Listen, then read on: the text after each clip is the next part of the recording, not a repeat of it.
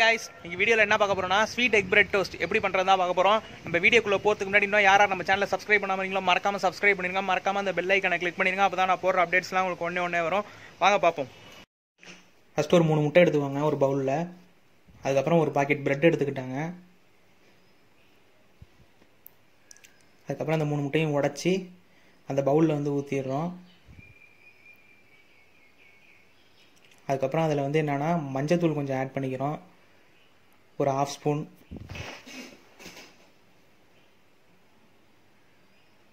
அதுக்கப்புறம் அதில் மே அது மேலே வந்து என்னென்னா கொஞ்சோண்டு உப்பு கொஞ்சம் கொஞ்சோண்டு ஆட் பண்ணிக்கிறோம்.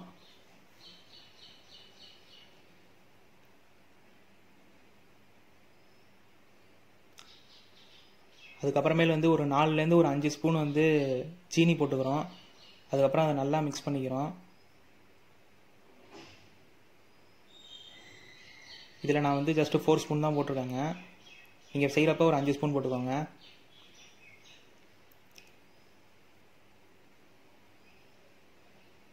அதுக்கப்புறம் அதை நல்லா கலக்கிக்கோங்க.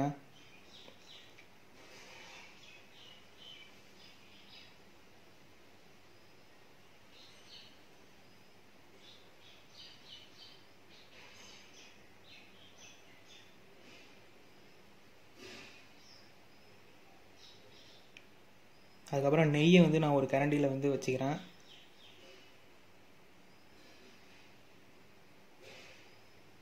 ஒரு சின்ன பாக்ஸில் வந்து வச்சுக்கிறேன். ஏன்னா நெய் நமக்கு வந்து ரொம்ப இம்பார்ட்டண்ட்டு அதுக்கப்புறமேல் வந்து ப்ரெட்டை வந்து நம்ம அப்படியே எக்கில் வந்து டிப் பண்ணுறோம்ல கொஞ்சோண்டு.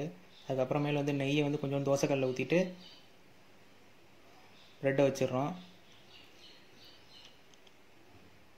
அதுக்கப்புறம் மேலேயும் கொஞ்சம் அப்ளை பண்ணிக்கிறோம்.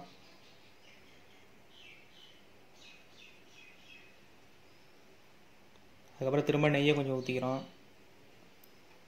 ஒரு ரெண்டு நிமிஷம் நல்லா புரட்டி புரட்டி போட்டு எடுத்தால் ஒரு மொறு மொறுன்னு ஒரு கிறிஸ்பியாக கொஞ்சம் ரெட்டிஷ் கலரில் வரும் கொஞ்சம் மேலாப்பில்.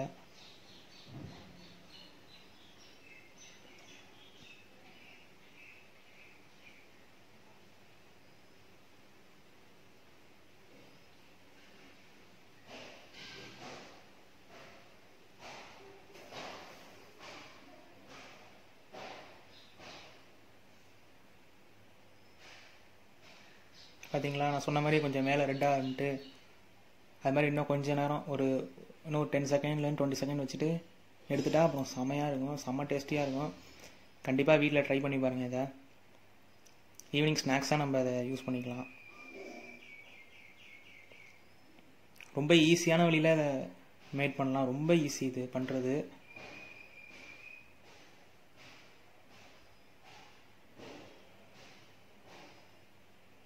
அவ்வளோதான் ரெடி ஆகிட்டு